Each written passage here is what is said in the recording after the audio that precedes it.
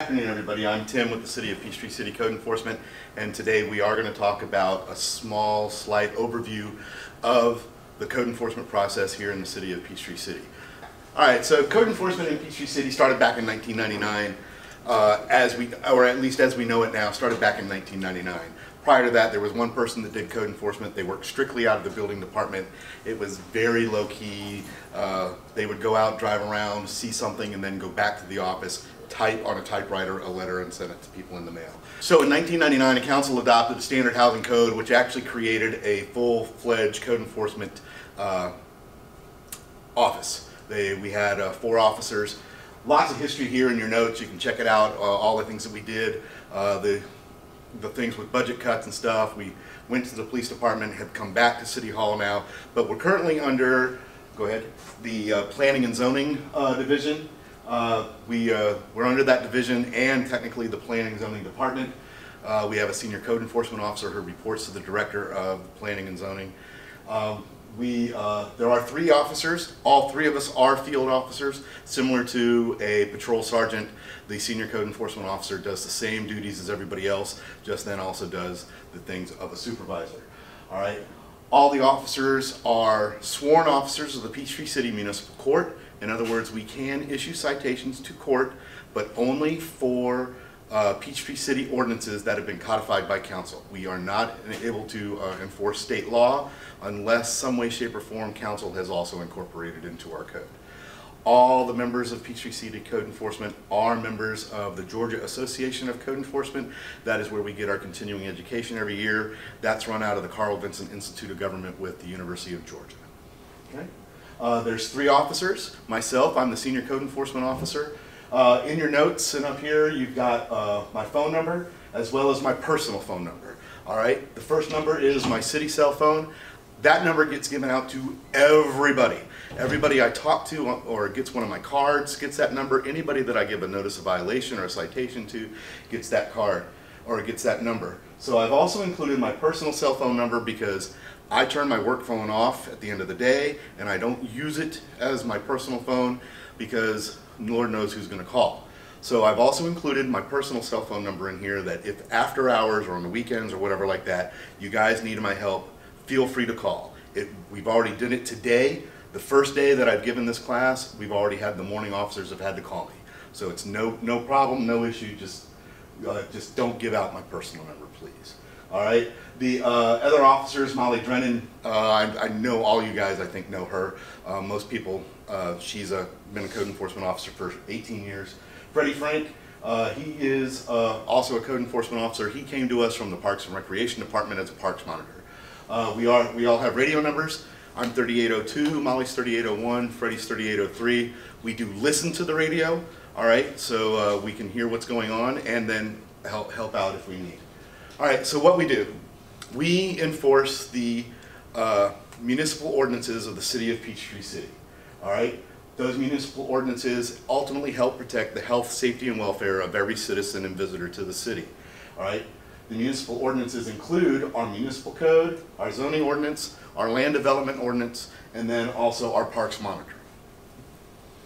Okay, under our municipal stuff, we do stuff like health and sanitation, signs, water restrictions, uh, alarm registrations. Michelle even actually sends us uh, letters to distribute to people. Fire protection, building construction, property maintenance, and uh, renovation or rehabilitation.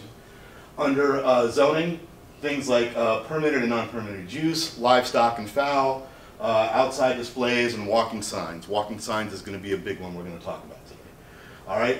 under land development, erosion and sediment control, landscape plans, uh, green belt and buffer control, and illicit discharge.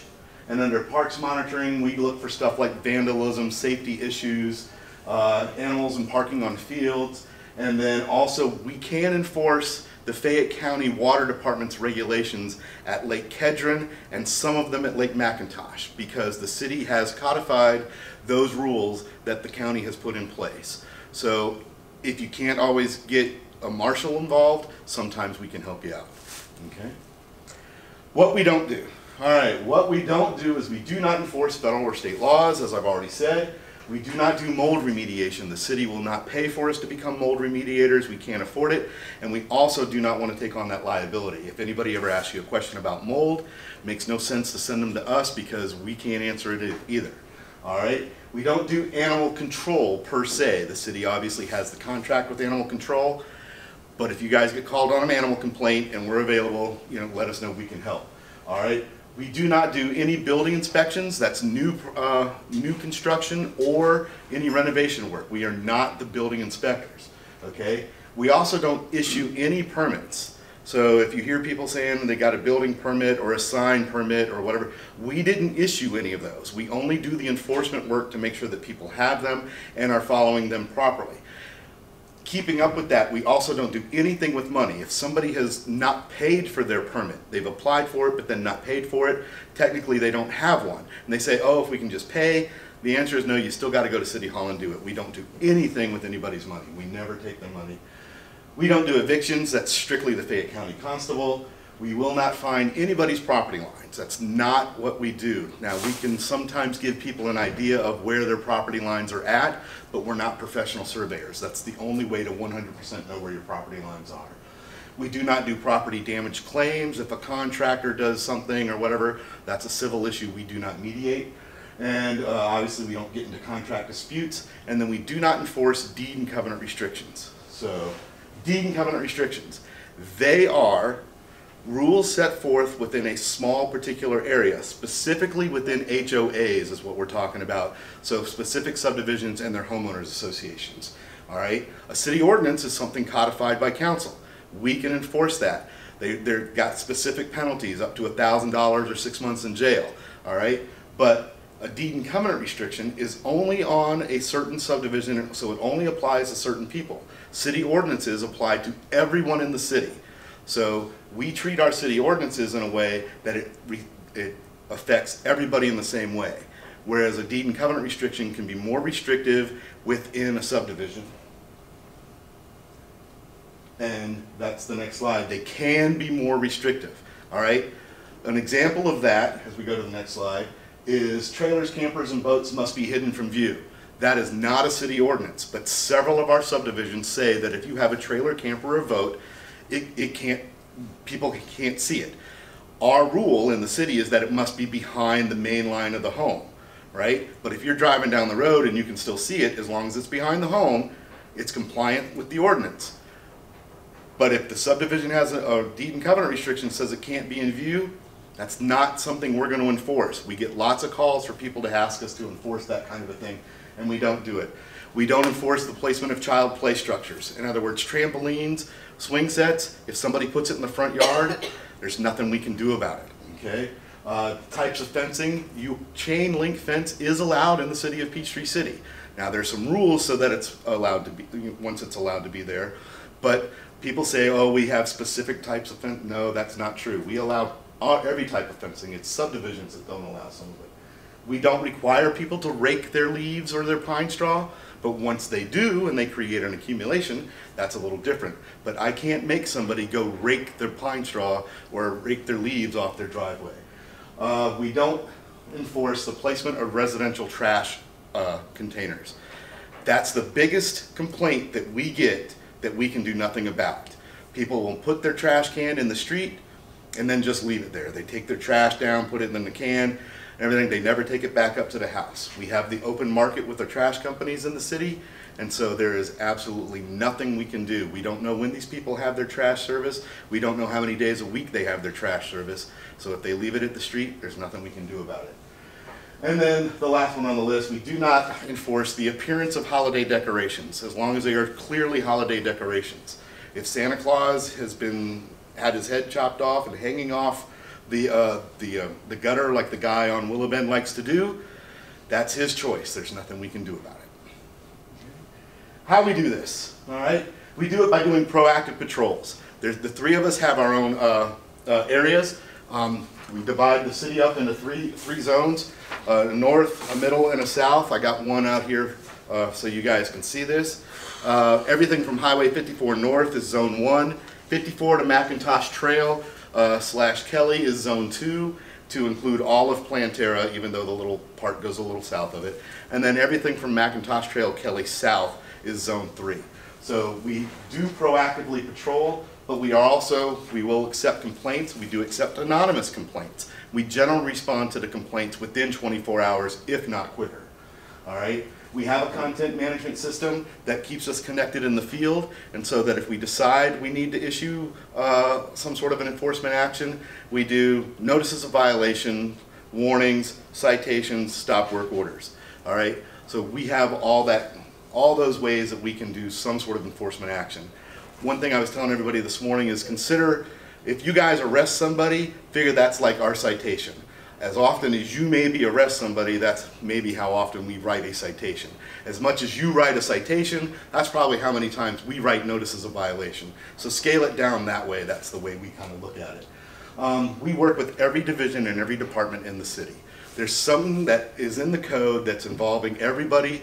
We're constantly getting calls from admin department, public works department, and everybody. So we work with the whole city. Uh, we do conduct investigations and inspections, and we do testify in court. This is our content management system, just a screenshot to show you, uh, show you um, the, our, our monthly report, and then this is just a graph that shows uh, the breakdown of the things that we do. It happens to show that grass is probably the most uh, noted violation that we give. 25% of what we do is telling people they have to mow their lawn. What we can do for you, okay? We can be another set of eyes and ears out there on the road for you. We can assist with calls that are ordinance violations like we did today already the first day that we gave out our, our, phone numbers like this to in a class, we got a call from an officer. The call went out over the radio. Unfortunately, I had turned my radio off and even my phone off for, for a meeting, and a call went out about uh, barnyard animals tearing up somebody's yard. That's a code enforcement issue, not a police issue. We, we stepped in and we took care of that. Plus, we do listen to the radio, so if somebody's calling out stuff that we can assist with, we will do that. We also will assist with minor tasks. The other day, somebody needed a blood kit. You guys were all busy.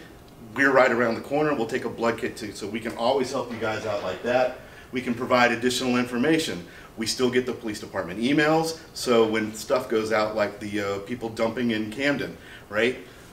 Uh, another person came up with, hey, I think that person lives in Flat Creek Villas. I was in Flat Creek Villas when that email came out. There's the truck. I sent the email back to the officer, that truck is here, I sent him a photo, everything like that, verified it was there. Hopefully that all got handled and taken care of. And we can also do work with your neighborhoods. This, the, the neighborhood policing is something you guys are really pushing. We can really help you out.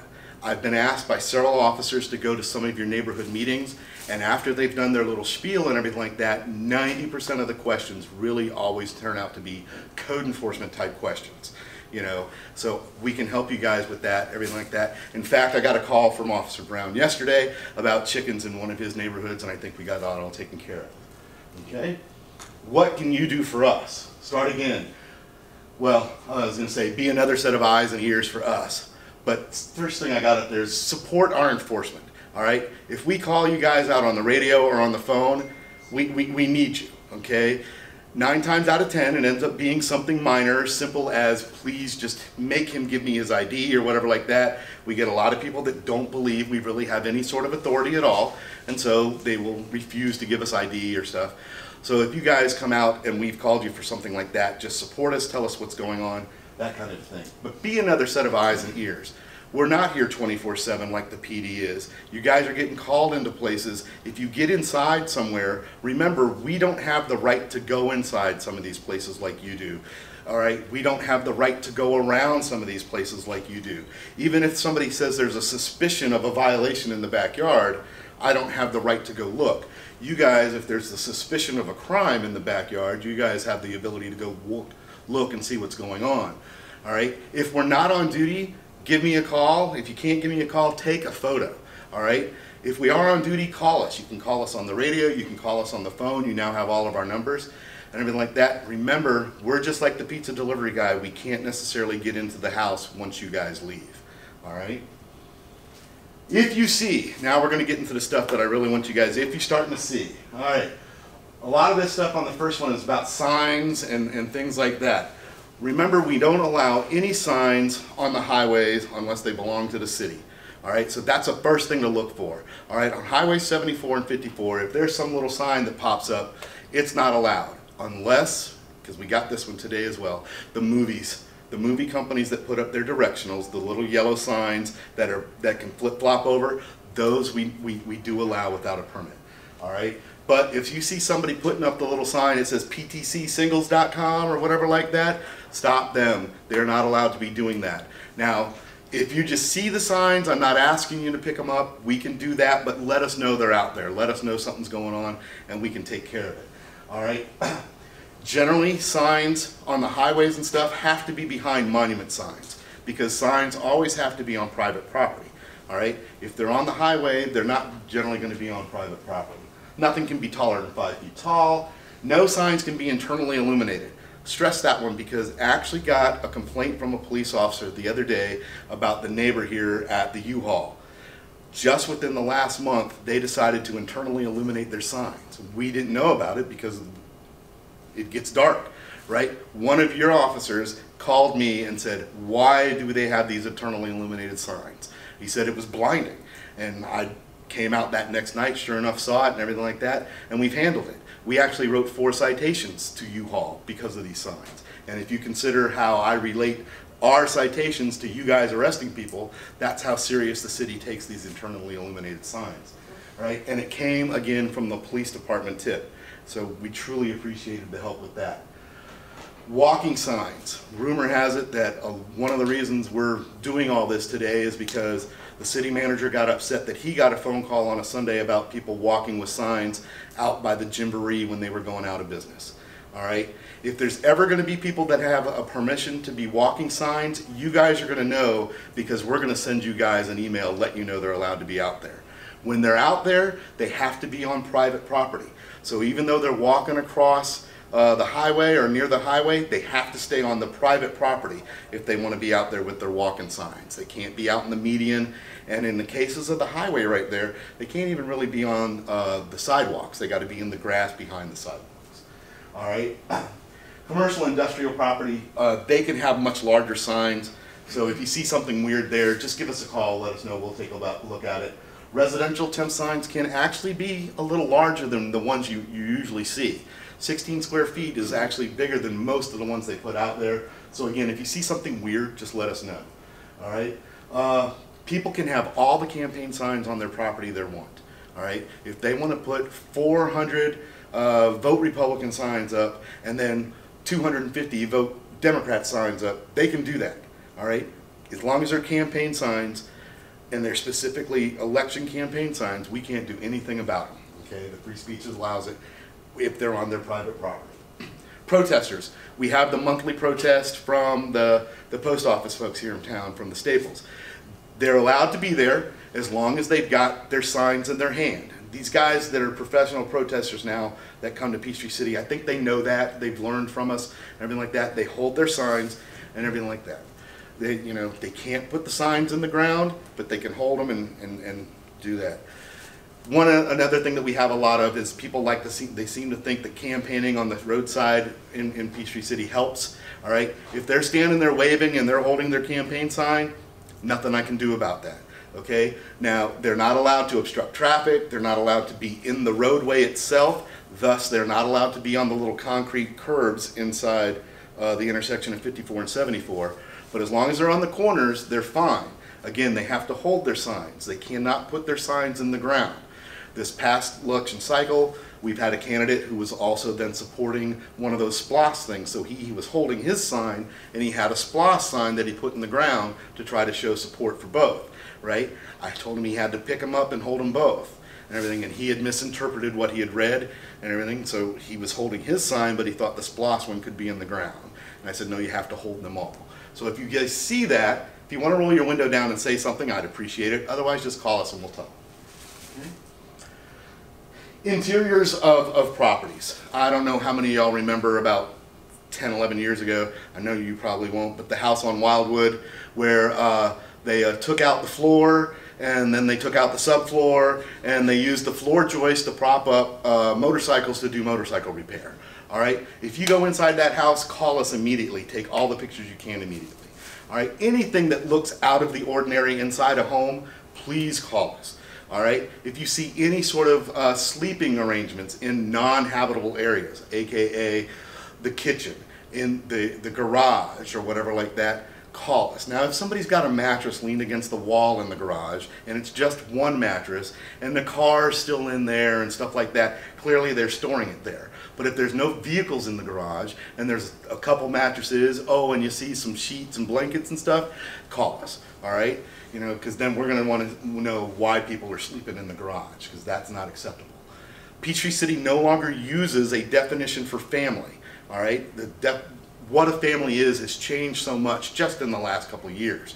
Okay, so now everything is based upon the International Property Maintenance Code and the size of homes and where people are sleeping and actually doing things in their homes. We actually would have to measure the size of somebody's closet to see if they can actually fit on the right number of people in a home.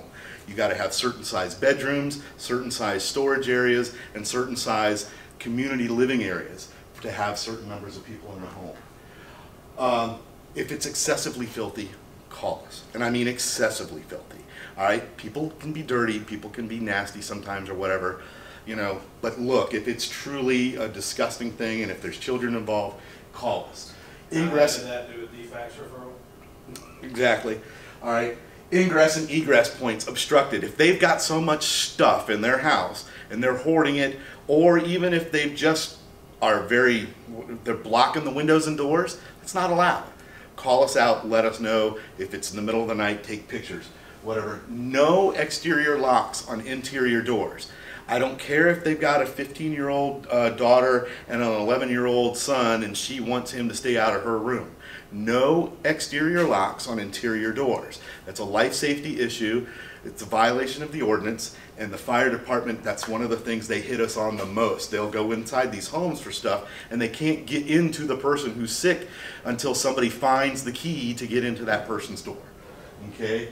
Uh, no clear aisles. If they don't have 32 inches of width in the aisleway, right, let us know. And we've had houses in Peachtree City, multiple ones, where the people only have a single path through the house and it's not 32 inches wide. We can handle that, we can take care of that. If they've got holes in the ceiling, holes in the walls, holes in the floor, or whatever, it's not allowed. Let us know. Now, people can live in a home that doesn't necessarily have gas. Okay, we use a lot of gas, natural gas, down here in the south, right? But you can't live in a home if it doesn't have electricity, and you can't live in a home if it doesn't have water, because you can't heat or cook or clean without those things. So if there's no water at this house for whatever reason, right? Let us know. These people can't stay in that house. If there's no electrical power, people can't stay in that house. Again, if we tell people they can't be in the house, we're going to post it and we're going to let you guys know because we're going to ask you to start driving by at night. People will be allowed to be in the house during the day to fix the problem, but they can't live in the house at night. Uh, high grass and weeds in excess of eight inches. I'm not asking you guys to call me every time you see somebody with a few weeds or whatever like that, but if you think we've missed something that's like holy moly, let us know. All right, again, there's only three of us and soon to be only two of us.